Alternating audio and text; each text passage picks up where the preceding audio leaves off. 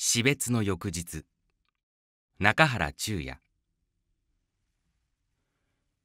生き残る者はずうずうしく死にゆく者はその清純さを漂わせ物言いたげな瞳を床にさまよわすだけで親を離れ兄弟を離れ最初から一人であったもののように死んでゆく。さて今日は良いお天気です。町の片側は陰り片側は日差しを受けてあったかいけざやかにもわびしい秋の午前です。空は昨日までの雨に拭われてすがすがしく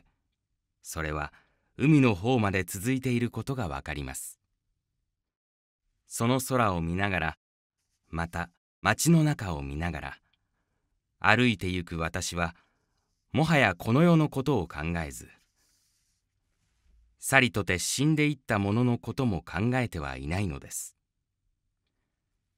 見たばかりの死に呆然として卑怯にも似た感情を抱いて私は歩いていたと告白せねばなりません。